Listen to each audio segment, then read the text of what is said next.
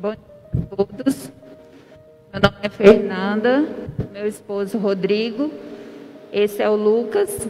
Nós somos pais de três rapazes, o Pedro Geraldo, o Matheus e o nosso caçula Lucas. É, estamos aqui para apresentá-lo à comunidade e agradecer pela vida dele, que é um verdadeiro milagre, e pela minha vida também. É, foi uma gestação, foi um parto, né? Um pouco complicado. É, com 28 semanas a gente teve que interromper, porque eu tive problema de pressão e desenvolvi uma síndrome bem, bem séria, que tinha risco de vida para mim e para ele. Então, o Lucas nasceu no dia 26 de dezembro com 835 gramas e 35 centímetros. E na incerteza, né, de que, que ia acontecer, a gente só contava com o milagre e com a nossa fé e a intercessão de todos. Então, foram 98 dias de UTI para o Lucas, e, mas graças a Deus, Deus é maravilhoso e a intercessão da, da nossa família a intercessão de Padre Pio, que a gente pediu muito. Eu tenho certeza que ele colaborou para esse milagre. E o santuário todo, o Padre Rodrigo, o tempo todo intercedendo por nós. É, a gente conseguiu vencer. Eu também desenvolvi um problema de coração pós-parto então, assim, o tempo que o Lucas estava se recuperando, eu também estava me recuperando. Foram seis meses de luta, mas nós vencemos. Então, a gente está aqui hoje para agradecer. É, hoje é um dia muito especial, aniversário da minha mãe, né? Em especial também queria agradecer ela, porque a fé dela, toda a dedicação dela e do meu pai, né, em cuidar da gente, foi essencial e toda a minha família e o santuário, o Padre Rodrigo, todos os padres, que no dia do parto, é, foi muito especial, no dia do parto de manhã, o Padre Divino, né? Isso. Ele teve lá em casa levando, levando Jesus para mim, sem eu saber de nada, o que, que ia acontecer. E ele me deu toda a segurança, muito que ele também nasceu prematuro e ele falou: Minha filha, vai confiante que vai dar tudo certo. Então foi, foi plano de Deus e o Lucas é uma benção, um presente para nós.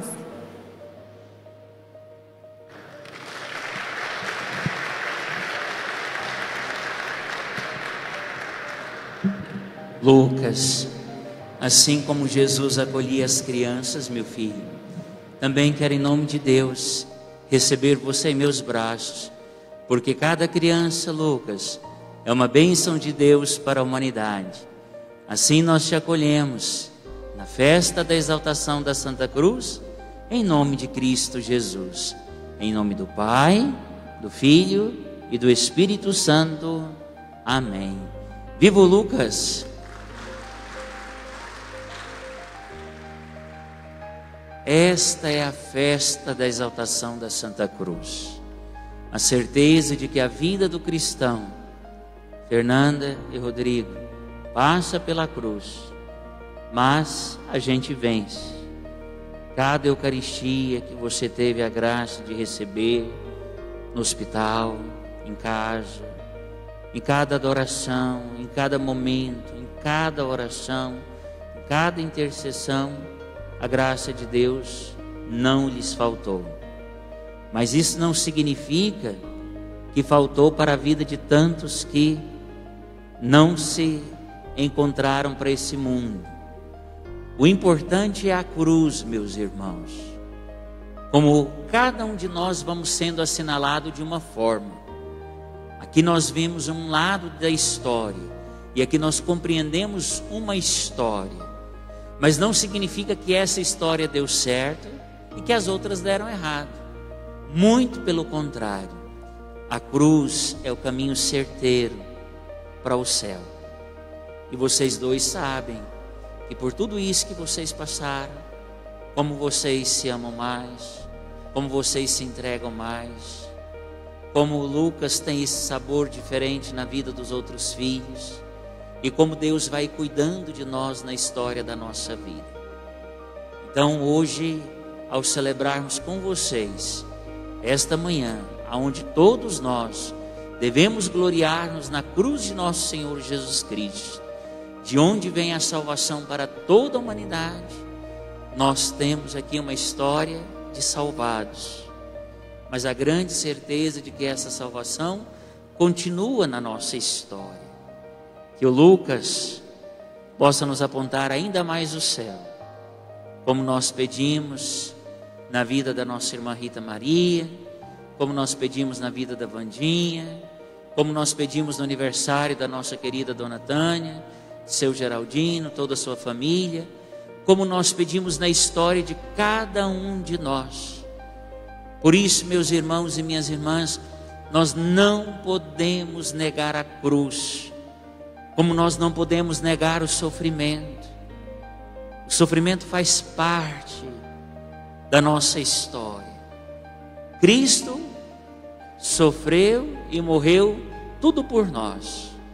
E tudo que nós vamos vivendo com Ele, como vocês viveram, aqueles seis meses que parecia ser sem fim, é a grande certeza de que nós vamos completando a paixão de Cristo nesse mundo em que nós estamos. Por isso, meus irmãos e minhas irmãs, como nos ensina o nosso querido Padre Marcelo Rossi, tristeza jamais. A nossa vida pode se encher de saudade, a nossa vida pode se encher de cruz, a nossa vida pode se encher de dores e de sofrimentos, mas tudo isso tem um sentido na nossa vida. O grande problema é que nós queremos negar esse sentido. O grande problema é que nós somos uma sociedade doente, aonde nós queremos abortar em todos os sentidos, tudo isso que você passou, que vocês passaram, é porque vocês não quiseram abortar, é porque vocês não quiseram tirar, é porque vocês quiseram dar a vida.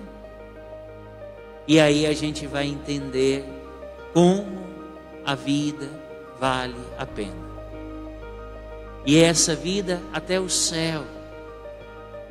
Essa vida até o céu. Porque a nossa vida só tem sentido se for para o céu. Imagina se nós buscamos as recompensas nesse mundo. Imagina se tudo que vocês passaram e que muitos de nós passamos, a gente está buscando as coisas para o mundo em que nós vivemos. É uma loucura. A nossa resposta é o céu. Por isso, meu irmão e minha irmã, o sinal do cristão é a cruz. E nós precisamos ser fortes em Cristo Jesus, não é fortes por nós mesmos. Uma das coisas mais bonitas, querida Fernanda, é que você tinha uma base, você tinha uma solidez, né? Veio de uma família e veio de uma história e veio de uma realidade aonde você realmente sempre viveu essa fé e sempre soube acreditar nessa fé. E essa fé foi o suficiente quando você viu que você já era madura e que de repente a vida lhe tornou exigente. Então, que você e o Rodrigo, juntamente com seus filhos, possa continuar sendo para nós santuário, basílica, sagrada família, para sua família, para nossa comunidade. Hoje com o Lucas nos braços, sadio, correndo, saltitante, alegre, essa grande certeza de que vale o céu. Louvado seja o nosso Senhor Jesus Cristo Pense nas suas dores, pense nos seus sofrimentos. Como eu disse, vale o céu.